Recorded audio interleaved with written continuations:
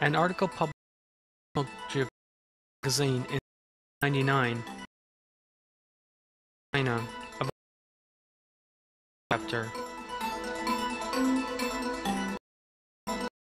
The report contained evidence indoctrination along the lines of in the same way that we can be certain that human beings are mammals, so we may be sure that birds are theropods.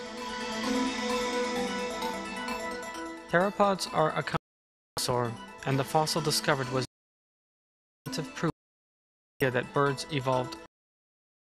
This species to have lived 125 million years ago was given the name Leon Gen.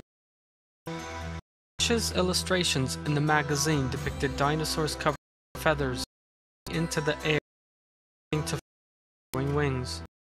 This fossil, announced to the accompaniment of great fanfare by National Geographic, soon turned into a source of terrible embarrassment for the magazine, known for its pro-Darwinist stance. In fact, the fossil did not belong to a species exhibiting both bird and dinosaur characteristics, as National Geographic had claimed. The fossil had a beak, teeth, and bird-like body, resembled as the dromaeosaur.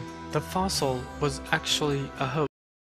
It had been assembled in one fossil in such a way as to give the impression of representing supposed intelligent form as for evolution.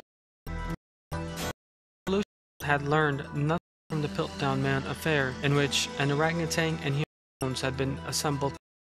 And this time portrayed a hoax fossil put together from dinosaur and bird bones as proof of evolution.